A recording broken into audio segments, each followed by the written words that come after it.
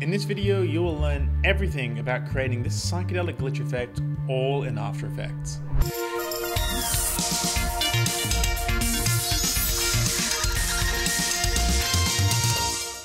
So first we're going to learn the principal technique for creating this very cool psychedelic glitch effect. Then we're going to do a whole bunch of variations and then finally some effects to put on the top to blend it into your footage more seamlessly. You can download this project file for free down in the description.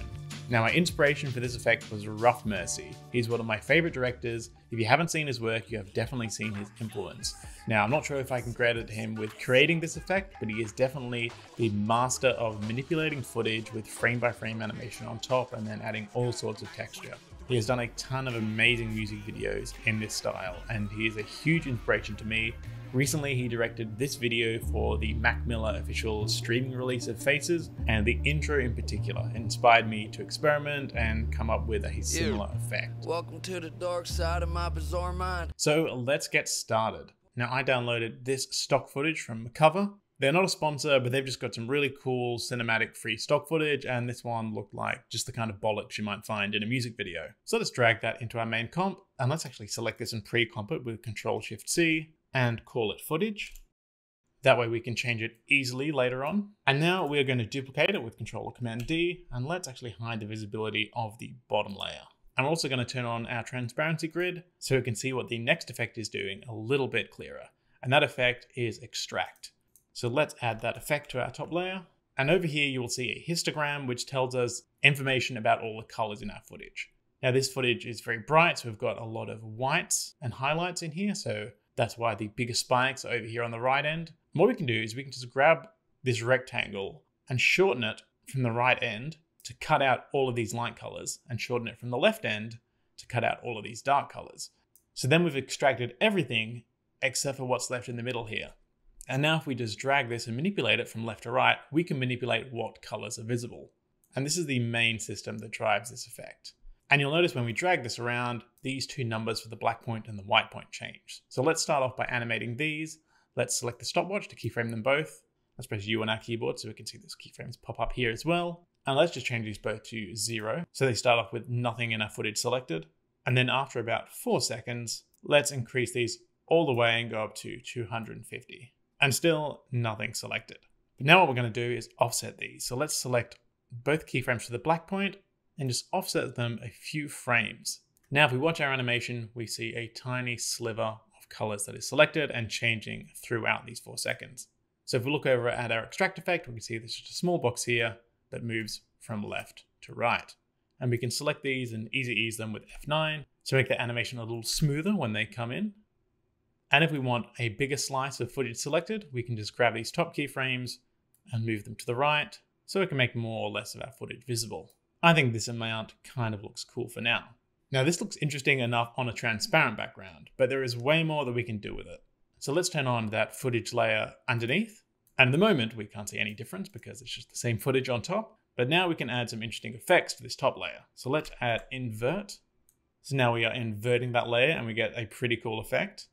Let's actually turn that off and we're going to try something else by adding hue and saturation. And now let's manipulate the color. Let's change the hue. Let's take that all the way up to around 180. Let's increase the saturation as well to about 70. Now we've got some pretty interesting colors going on. And we can also add the effect Colorama, which straight away will put this rainbow gradient over the top of everything, which can look really intense, but that might be good for the look you're after. And we can even change the different output cycles. There is a bunch of presets, so we can make it more clay colored. Or oh, let's try Caribbean to make it all blue.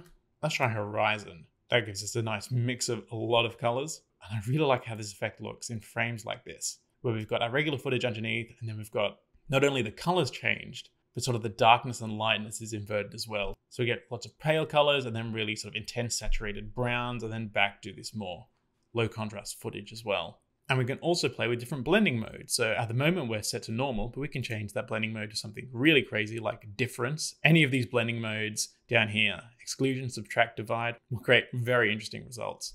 So that's looking very cool. Let's try subtract. Very nice as well. Let's stick to difference at the moment, but play around with all of these and the other ones as well. You can create some really cool effects. And this is just with one instance of this effect, but there are way more things we can manipulate. But first, a quick word about this video's sponsor, Walling. If you're working on any project, especially with a team, you need somewhere to collect all that information about the project in one place. Walling is a visual workplace to organize all of your work and plan your new projects on collaborative walls. It is ridiculously simple to use. You can quickly arrange your ideas on a wall to keep everything organized visually. You can fill it with any content you like notes, images, videos, lists, tasks, everything that's helpful to visualize the entire context of a project. Here's a wall I created to help me track this project I've got everything I need all in one place, all the reference, all of my experiments, my scripts, and my notes. Walling is especially helpful for collaboration. My wife is working diligently behind the scenes helping to produce every video on this channel, so this is where we collaborated to put together this one. We can both simultaneously collect reference and add them to a mood board, we can both add assets that will be useful to the production, and of course make comments on notes on every piece of content. The collaboration tools aren't just great for working internally with a team, you can also bring your clients on board. You can send them a link where they can make comments, or if they're an excellent client you trust and you're brave enough, you can invite them to collaborate on the board as well so they can add content and share their ideas to streamline the feedback process. Walling has the great price of being free, so try out Walling by clicking the link down in the description. So let's actually duplicate this footage layer again, and let's just drag it to the right. And now we've got a sort of psychedelic ghostly glitch of them moving around as well. But we can also manipulate that. We can press S on our keyboard to bring up their scale, and let's scale them from 100 to 200%. And maybe move that towards the end, and let's see how that looks.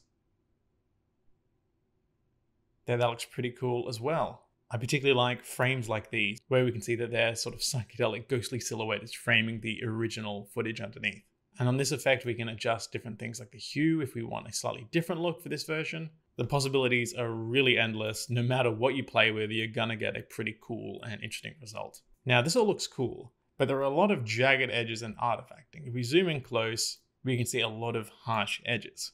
And that's just because we've pushed and manipulated this footage so far. And to be honest, I don't really mind that. Especially with this kind of look, you can really get away with it because the audience isn't expecting it to be all nice and smooth but there are a few effects that we can use to soften this to get these colors and effects looking more connected and more composited. So let's add a new adjustment layer with Control Alt Y, and let's call that Effects, because we always label our layers. And on this adjustment layer, let's first add the effect Gaussian Blur, and set that to about 5 pixels.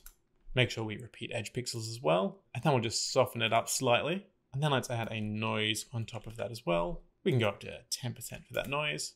And then we'll just leave this a little softer, but a little grainier as well, which I do like. And all of those effects are on top of this glitch as well. So the edges are much softer. It doesn't feel as jagged. We can also add a tint effect as well. If you want to push these back to being all one color, so you can leave it as monochromatic like it is here. Or you can change one of the colors to be really intense. Or heck, change both of these colors to be really intense as well. And now you've got another really interesting look. Let's turn that off at the moment, but that's always an option. And the last effect I'm going to put on is one that I've been loving lately, and that is camera lens blur. Now, camera lens blur is the Rolls Royce of blurs. It is a much more accurate blur to what you would get out of a camera, but it does require a lot more processing power from After Effects, so it will chug a little bit, and your RAM previews will slow down. But you know what? We deserve it. But we will need to add a custom blur map, and a blur map, which we can add down here, tells this effect which areas of our footage we want to blur. So now let's make that. We're going to create a new solid with Control Y, and we'll just call that blur map.